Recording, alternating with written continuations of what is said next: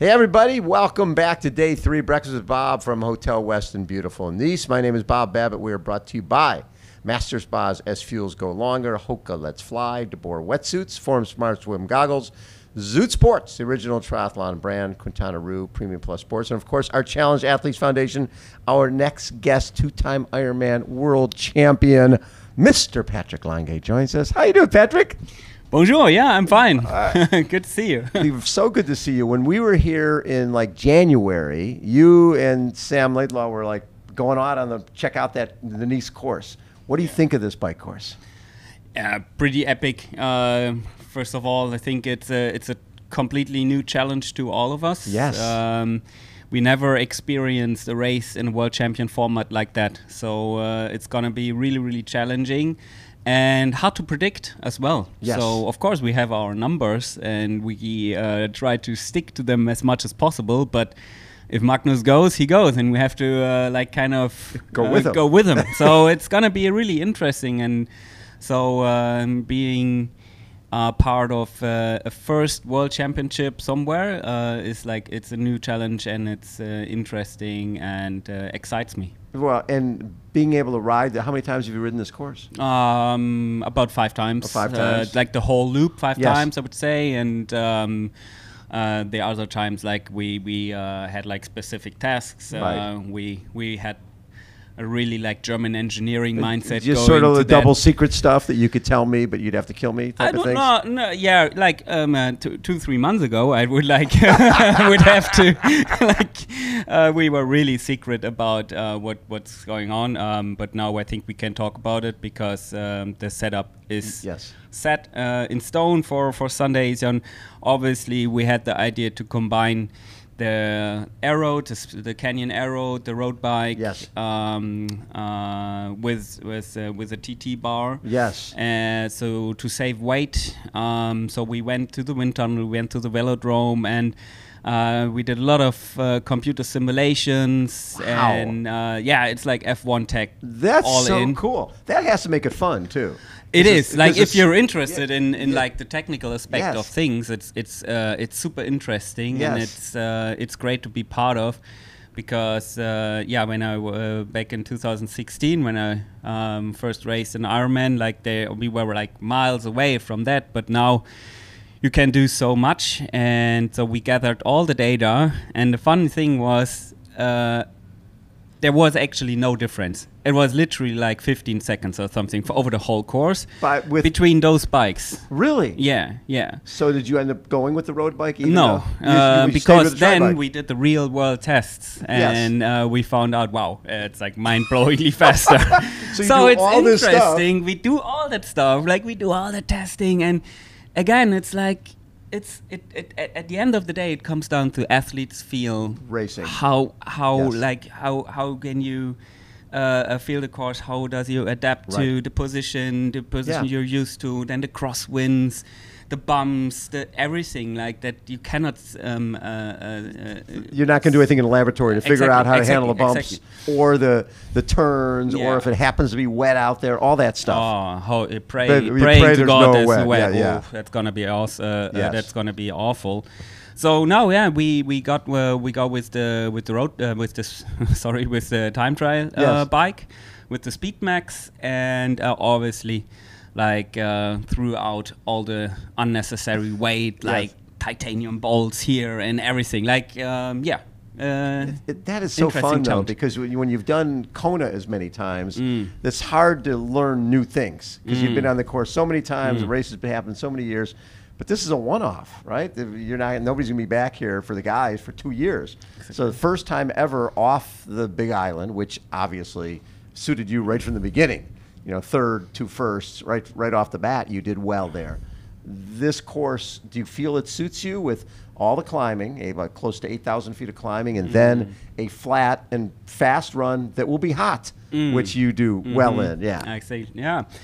Again, like uh, from from the from a pure paper perspective. Yes. I think this race would suit me even better than Kona. Yes. Um, I think what what really drove me in Kona was always my passion for the race Right. and I The history, like, the- all of it, history, yeah. Like I always wanted to be um, a Kona um, a world champion. Yes. I wanted to be alongside the big names. Uh, it, my heart opens up when I see the down the Promenade des Anglais, like the, the, the big pictures of all the Seeing your champions. picture there, and it's yeah. awesome. Like it's, two it's stars. still yeah, You two you- stars. you want another one would be another few would be good. uh, yeah, I'm, I'm working for that. I'm working for that. So um, no, obviously, like the, the passion for the race, I think drove me uh, uh, big time. Um, but if you look at the pure like uh, characteristics of of Kona, yes. um, it wouldn't suit me as much as this race here because power to weight ratio is a bigger Yes. factor Yes. uh, here than in uh, Kona. Yeah, because you think about it, in Kona, that is a power person's bike course. Absolutely. That is really set up for Magnus, really set up for Cam Wurf to just really yeah. put your head down and go. Absolutely. And, and not a lot of thinking. Here, you have to be on it the whole, and even on the downhills, it's pedaling. You're not, you're Even not. then you have to be so focused all the time because this like uh, there are speed bumps everywhere like Yes. corners sharp corners you have to brake you have to honestly you have to know the course um, it, it it's yeah. completely necessary to to actually uh, Canyon did like a video like they mounted a GoPro Yes. and they rode the whole course and they sent it to, to all the pro athletes Yes. and uh, I downloaded it and like have it on my iPad and Watch it over and over again. We'll to watch it over and over again just to know uh, it like front back out of my Isn't mind. that you know. funny? That's like in, in other pro sports where where they're evalu- they've got the, the tablet and they're evaluating Yeah. everything Yeah. and looking at so this that gives Yeah, you the I- capability. Absolutely, like um, again, like the the, the synergy of um, the sports uh, popped up a- again in the preparations. I Yes. trained a lot with uh, pro cyclists.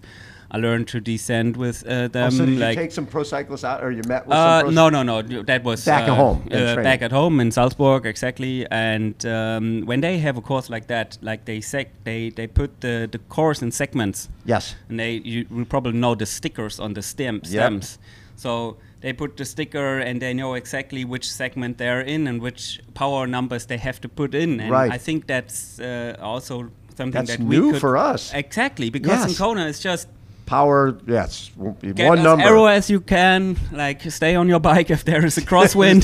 and hopefully, hopefully, the, the, when you're heading out to Hawi, you don't lose much time. exactly. Yeah. Yeah. And And, and for me also down the hill in Hawi was actually for me even more uh, important because uh, Because you're a lighter guy. 65 uh, kilo. Yeah. Yes. The the Hawi crosswinds like they will absolutely like blow me away if Yes. they won. So I need to tuck in there.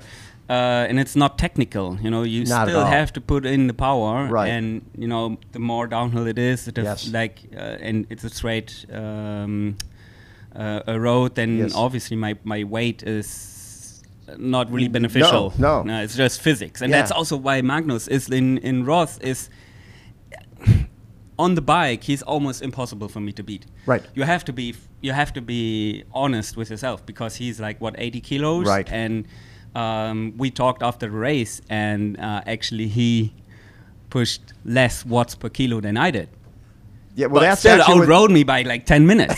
You know, that's great. Yeah, yeah. So how can I? you can't do that. Yeah. Yeah, you can't handle that. So But- that's also another Right. uh, a technical. Um, But you had a great ride in Roth. And It's actually Sam Laidlaw pointed that out. He said, you know, people talk about myself and Magnus and the great ride we had. Look where Patrick was in the ride. He wasn't that, you know, he was he was back what ten minutes, but ten minutes, and that was in front of everybody else. Mm. So you know, he's like hey, that that guy's the from his perspective. You got to look at Patrick as the guy here because of the hot flat run and because he climbs as well as anybody. That's pretty cool. yeah, I think that. Yeah. Um, um, And you rode with to Sam, on that. this course, so you guys. Yeah, you- yeah, yeah, yeah. That, that was the early on, right? That was right last January. when It was January. Yes. Uh, actually, he was in uh, uh, on the TT bike back then. I was on a road bike, and Yes. that's where I first noticed. Ah, I think TT bike is probably best go. because it was really hard to hang on Yes. to Sam. Um, but yeah, um, as you said, like the, the, the power to weight ratio should play into my cards, Yes. and I need to uh, play them as uh, as good as possible. I love that. Um, when it, it was really fun watching at Roth when Sebi came across the line and you and Jan went out there because if you Mm. think about it, from uh, what 2014 to 19, you three guys won every Ironman World Championship. Yeah, That- that the- great? the- right? German domination. Uh, and that had to be pretty special, knowing that Sebi was hanging it up, and now you got Jan hanging it up here. Mm. But I think Jan's coming here to win. It's, I think it's a little a little different. Absolutely. Yeah, don't you think that this is knowing it's his last race and knowing he's never going to go to a starting line he's not ready to win at, you, Mm. you think he's going to be a factor as well? Oh yeah, he's gonna be a huge factor, of course. Yes. Like uh, every start line that Jan is toeing, you can be that sure that he will be uh, Yes. a give give everything he has, and uh, b will be perfectly preparation. Uh, prepared, so uh, yeah, uh, he he in my uh, calculation, Yes. he's definitely the, the the biggest favorite for this race. Who else are we?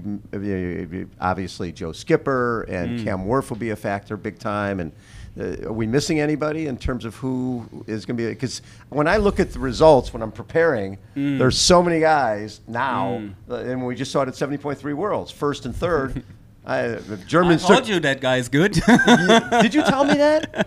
yeah, Rico Bogen. Like he, we raced in Kraichgau, and Oh. everybody was like, "Who is that guy?" Yes. So and uh, he like he is 22. What years? Yes. Of age, and Yes, he's a baby. he- he- yes, kind of. But he raced with such, Such a, a smart smartness as Yes. well. Like um, so, he was going into the race for me as uh, one of the favorites. Yes. And um, yeah, it, it also brought back some memories from 2016 where Jan, Sebi, and I were on the podium. Yes. And now I see the the, the young guns uh, again. It's like uh, like. That's good to uh, see. Yeah, it's really good to see. I was wondering where that was going to come from because you think of yourself and Sebi and Jan. Nobody's getting any younger. I'm like, where's that next generation? Because we're Mm, they're talking. Norwegians, we're They're talking the, the Danes, but the Germans are coming as well. Oh yeah, yeah. There's a bunch. Yeah, there's a there's a uh, a big vir vir uh, um, uh, yeah like pool Big of uh, yeah, yeah. uh, of of athletes that I see coming. Um, I wish that we would have like um, women as well, like Yes. young grown Yes, uh, besides women. Anne Haug and yeah, yeah, we need some- like, some like, more like we need to bring more women into the sport. Also in, In Germany. Germany, is a, it's That's kind an of issue. a factor. Yeah, uh, absolutely. But from the men's side, like I'm really happy to see. Uh, of course, my teammate Freddie Funk from Erdinger. He's an absolute powerhouse on the He is. bike, and bringing that he brings together like a, a race like that, like it was really cool. Jan Stratmann, who's uh, was the same coach as I. Oh, okay. Um, so we trained uh, in uh, in winter together, and uh, I knew that he was absolutely um, Yes. strong, and uh, in training he was always there. Yes. but uh, never really got it uh, uh, transferred into a race, and seeing him uh, race like that like was really cool. So I I'm not worried about Yes. uh, the next generation. They'll be fine. Yeah.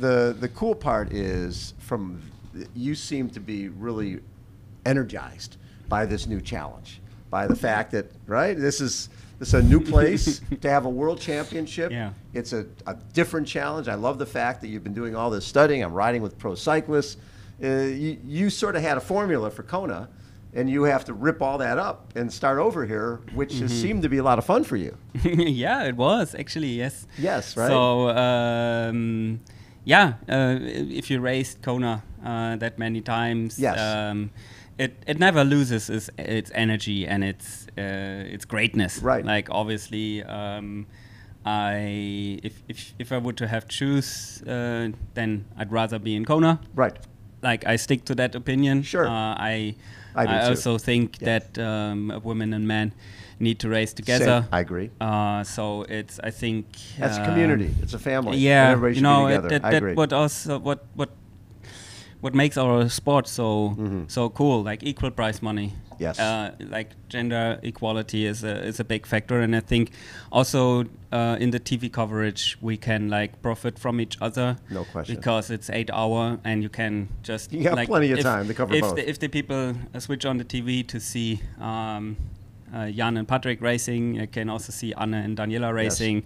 So uh, if if you ask me, I, I wish back like the, the old format. Um, do too, yes. And uh, but still, I'm I'm excited for the new challenge, Mm-hmm. and um, you know, in my mind, I think uh, if I'm able to pull out a good race here, um, it shows actually that uh, I can perform in in different, Different parts ways, of the yes. world. So Right.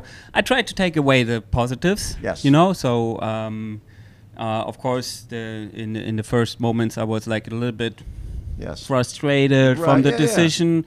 But uh, yeah, you have to You embrace uh, it. Right, exactly, yeah. like and move on. Yeah. Um, yeah. How fun would it be to get off the bike and have you and Jan and Magnus all sort of close together and having a, a, a- nice little run to the finish? Yeah, that's obviously that that's my goal, my big goal. I Yes. don't think the the guys uh, They don't want you around off the bike. No, they don't want you. They don't want you in the same zip code. They want you back up on a mountain somewhere. yeah, yeah, exactly. So uh, that's what I think. So um, yeah, I, I try to work my ass off uh, in the mountains to, to be in contention to them and uh, then run as hard as possible. Yeah, and this is is this a type of run course where someone could break 230? It is like if you look on the paper. Yes. Um, so um, we need to see uh, how much energy uh, Yes. and fatigue you're carrying It's after 2,500 meters of, of climbing. know. Another 30, 40 minutes of bike riding. Yeah, exactly. Right? So, yes. Uh, I think it's it's uh, as you mentioned before, like the uphills are really important, but the downhills are also important, Very and important. they are not really like energy saving uh, No, downhills. You're pedaling the whole time. and you have to be focused all the time. Yes. And you you know like that takes energy. your your brain is also using a lot of sugar. so uh, that's uh, that's so I think um, yeah you have to be 100% focused and uh, it's gonna be um, I think one uh, factor for the race who's Yes. gonna deal with that and who, who's gonna recover in the downhill as much uh, as possible Right. uh, to have a full tank uh, Yes. to go on the run course. And then, of course, if you look on the map, it's like what 100 meters of climbing, Yes. uh, uh, elevation. That's nothing. Um, but to be honest. I prefer a run course where it's a little bit undulating because, I always different muscles. different muscles. Yes. Exactly. You, Yeah. you use a different movement pattern from time to time. Right. You run a little bit downhill. You Right. can you can just change your Right. your your running form a little bit and play around with it. So um, I'm not making up any excuses before the race. So um, I think um, if you just pu- look purely on the on the run course, it's it's fast, but um, it's gonna be it's gonna be a big challenge. And the other part of that run course, because it's four laps, you're Mm. going to have crowds everywhere. Ah. Where in, in Kona, sometimes you can point. you can focus on your own thing and drive. You know, you, because you see that first mile in Kona, a lot Mm. of people go out of their minds because they haven't Mm-hmm. seen crowds for that whole part of the bike ride, and now all of a sudden people are screaming and people are running 30 seconds a mile faster than they should be running, and the race about is over. Right? You've done that, yes, I know. No, I didn't do that. Oh, no, the I other always guys- I you were the kept myself together. I know. I was like, okay, you run, you run. We'll see you, see you in the energy lab, guys. That's right. People were running away from you off the bike. They were like, Yeah. "Take it off." You're like, what were they thinking? But that's the one thing is is here people could totally get out of control with the crowds cheering for them the whole time. Mm. Possibly, yes. Yeah. So, what would it mean to you to win your third Ironman World Championship here in Nice? Yeah, as I mentioned before, uh, it would be uh, proof that uh, you can win everywhere. Um, so uh, it will make uh, me like kind of a, the, the complete athlete, I think. Yes. So uh, it would mean, yeah, a lot. Like uh, honestly, the last uh, five years um, after my uh, uh, 2018 Kona win. Um, hadn't been the easiest. Uh, I think we talked a lot about it, Yeah. so I don't want to go into Yeah. much detail. And um, uh, but, But I feel like I right? I Yeah. like I moved on and I I worked myself out of this little, Little rut. ditch, you know, yeah. and um, you I feel ready. I, I feel ready. I feel really good uh, coming into this race. Um, I'm 100% sure that I did everything You did all the prep. exactly. So um, for me, it's it's go time, and um, I'm I'm happy to race. And it's it's also really really important for me to kind of look forward to the race, not be uh, anxious or Right. anything like. Yes. just focused and and and, and I'm, I'm I'm really all in and, and ready to go. So yeah, would mean yeah would mean a lot. Like uh, who wouldn't say uh, uh, anything different? Like it's Three's it's, always better than two. And that's absolutely right. and you know the calmness comes from the fact that you did all the prep, right? You Yeah. examined the course. Should we use a road bike? Should we stick with the TT Mm. bike? I've trained with the cycling group, and they showed me how they attack downhills, how they attack uphills. You've made yourself a better athlete through this process. Absolutely. And now all you got to do is go race. yeah, exactly. That's uh, the perfect uh, summary for that. Yeah. Love it. Patrick, as always, thank you for taking so much time. Thank you for being such a class act. Appreciate all you do for the sport, my man. Thank you. Thank you very much. Patrick Lange has been our guest, two time Ironman world champion. Hold on, everybody. We'll be right back.